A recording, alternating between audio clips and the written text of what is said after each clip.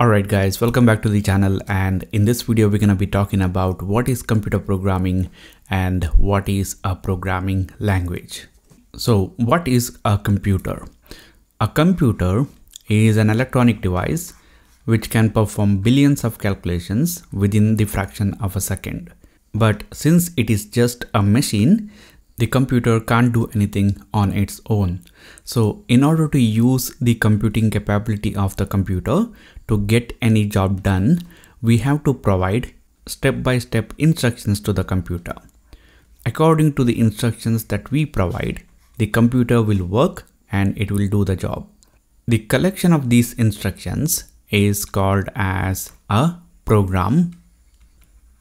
The person who is going to provide these instructions is called as a programmer and the language in which these instructions are given is called as a programming language.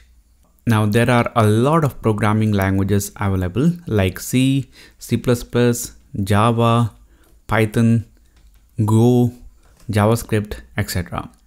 So a programmer use a programming language and provide the instructions to get a job done and according to the instructions the computer will work and it will achieve the task.